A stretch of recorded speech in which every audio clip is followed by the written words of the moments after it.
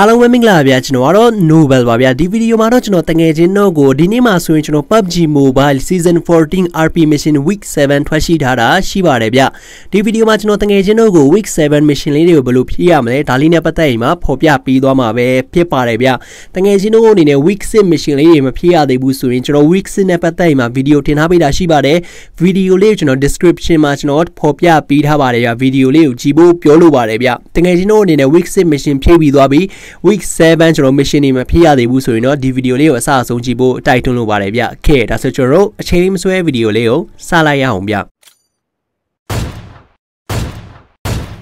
impressive Okay ဒါဆိုကျွန်တော်ပထမအဦးဆုံးအနေနဲ့ RP ရဲဝင်ပါဗျ mission ထဲမှာဝင်လိုက်မယ်ဆိုရင် week 7 mission ထွက်ရှိထားတာရှိပါတယ်ဗျ။တော့ပထမတစ်ခုကတော့ NS or above 4 time while in a team with friend in classic mode ဒါကတော့ကျွန်တော် classic mode မှာတငယ်ချင်းနဲ့အတူဒီမှာကျွန်တော် ranking ပေါ့ဗျာတပွဲပြီးကျွန်တော်ပြပါတယ်ဗျ။ဥပမာ S လား B လား A လား B+ လားကျွန်တော် SS လား SSS လားဆိုမှအဲ့လိုပုံစံပွဲပြီးတိုင်း classic ပွဲပြီးတိုင်းပြီးတိုင်းပြပါတယ်ဗျ။အဲ့လိုပုံစံတငယ်ချင်းတို့အနေနဲ့ classic mode မှာ S နဲ့အထက် SS ဒါမှမဟုတ် SSF ပေါ့ဗျာအဲ့လိုရအောင်တကယ်ချင်းနဲ့အတူဒီမှာကျွန်တော်လေးပွဲဆွဲရမှာပဲဖြစ်ပါတယ်ဗျတော့နောက်တစ်ခုကတော့တကယ်ချင်းတို့အနေနဲ့ဒီ၃ခုတွေကကြိုက်တဲ့တစ်ခု mission ဖြေလို့ရပါတယ်ဗျ ပထမတစ်ခုကတော့ kill 8 enemy in a single match in classic mode ဒါတော့ကျွန်တော် classic mode ကျွန်တော်ပွဲတစ်ပွဲထဲမှာရန်သူ၈ယောက်ကိုတိုက်ရမှာပဲဖြစ်ပါတယ်ဗျ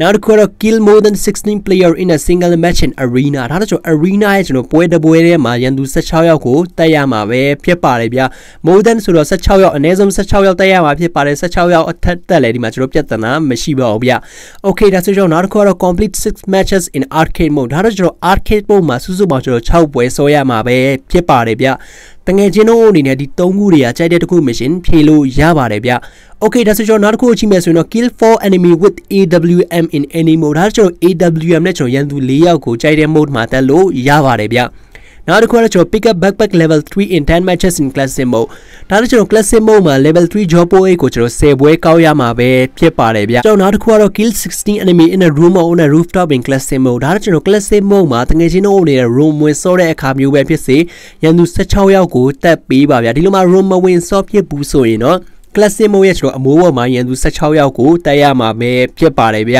နောက်တစ်ခုကတော့တကယ်ချင်းတို့နေကြည့်မယ်ဆိုရင်ဒီ၃ခုတွေကကျတဲ့တစ်ခု mission ဖြေလို့ရပါတယ်ဗျပထမတစ်ခုကတော့ land on any rooftop in hospital Irangal 3 time in classic mode ဒါကျွန်တော် classic mode ရဲ့ Irangal မြေပေါ်မှာ hospital ဆေးရုံနေရာရဲ့ကျွန်တော်အမိုးပေါ်မှာ၃ကဆင်းရမှာပဲဖြစ်ပါတယ်ဗျနောက်တစ်ခုကတော့ land on any rooftop in Ipozo Miramar 3 time in classic mode ဒါကျွန်တော် classic mode ရဲ့ Miramar ကန်နာရမြေပုံရဲ့ကျွန်တော် Il Pozo ဆိုတဲ့နေရာရဲ့ကျွန်တော်အမိုးပေါ်မှာ၃ကဆင်းရမှာပဲဖြစ်ပါတယ်ဗျာနောက်တစ်ခုကတော့ Landon Any Rooftop ရဲ့ Bootcamp Sanok 3 time in Class Simo ဒါကြောင့် Class Simo ရဲ့ Sanok မြေပုံမှာ Bootcamp ရဲ့ကျွန်တော်အမိုးပေါ်မှာ3ကဆင်းရမှာပဲဖြစ်ပါတယ်ဗျတကယ်ချင်းတို့အနေနဲ့ဒီ3ခုတည်းကကြိုက်တဲ့တစ်ခု mission ဖြေလို့ရပါတယ်ဗျဟေးဒါဆိုကျွန်တော်နောက်တစ်ခုကိုကြည့်မယ်ဆိုရင်တော့ use the club of great emo in school Irangal in Class Simo ဒါကကျွန်တော် Class Simo Irangal မြေပုံရဲ့ကျွန်တော်ကျောင်းနေရာမှာ school ဆိုတဲ့နေရာမှာပေါ့ဗျာဒီမှာကျွန်တော်လက်ခုပ်တီးတာမျိုးပဲဖြစ်စေ hi hello လုပ်တာမျိုးပဲဖြစ်စေအဲအဲ့လို emote ကိုကျွန်တော်တခါလုပ်ပေးပါဗျ